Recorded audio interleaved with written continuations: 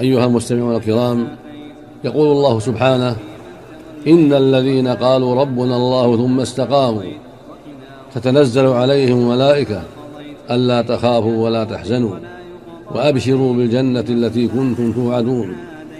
يبين سبحانه أن الذين قالوا ربنا الله ثم استقاموا على طاعته تبشرهم الملائكة عند الموت بالجنة والكرامة والسعادة ويا لها من نعمة عظيمة.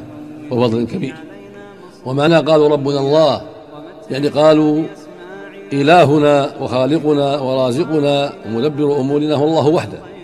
ثم استقاموا على طاعة الله. يعني قالوا وعملوا. تتنزل عليهم الملائكة. يعني عند الموت تبشرهم بالرحمة والرضوان. أما الكافر فعند الموت يبشر بالعذاب والنار وغضب الله عز وجل. نعوذ بالله من ذلك.